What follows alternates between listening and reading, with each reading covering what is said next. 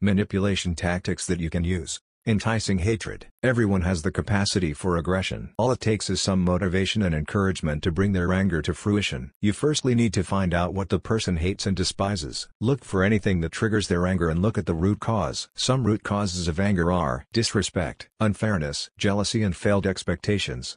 Understanding the root causes allows you to easily analyze anger in others and enables you to create a situation that arouses anger in people. Once your targets are riled up, you can direct this hatred towards someone or something. You could show your support and encouragement to your target, saying that they are right and should do something about it. Also be sure to remind them about the bad things that happen to them so you can keep fueling their hatred towards a specific target.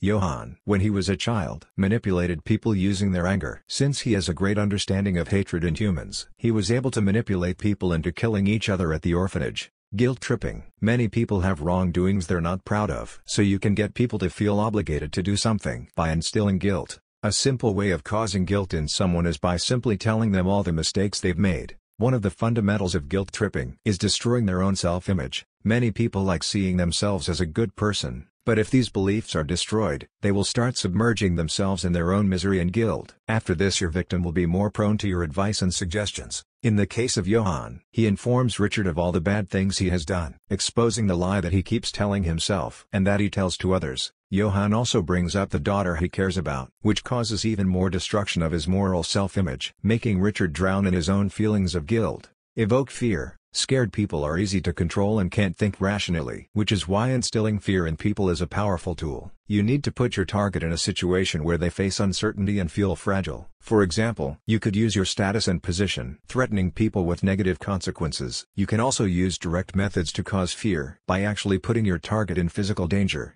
The more bad consequences you can push on them, the more fear can fill their mind, significantly hinder their thinking abilities and cause your targets to panic. Johan uses this tactic by starting a fire and trapping his victims, effectively causing terror and panic in people. Broken dreams. When a person's plans or goals don't come true, they tend to become miserable and sad. Show your victim a demonstration of why their hopes and dreams are not possible. You can even secretly sabotage them when they're trying to achieve their desires. The main point is to make them see a cruel and unhappy reality. The more negative stimulus you provide them, the more discouraged they will become. Eventually the person will give up on pursuing their desire. In one situation, Johan finds an orphan. This kid has the desire to be with his mother, but Johan starts planting the idea that he may be an unwanted child, slowly easing him into hopelessness and despair. So when the kid goes to the red light district to search for his mother he starts thinking about what Johan said, witnessing many unpleasant things that proves Johan's point, causing the kid to give up on his dream of finding his mother because of the despair he's experiencing. Thanks for watching VevenSeven.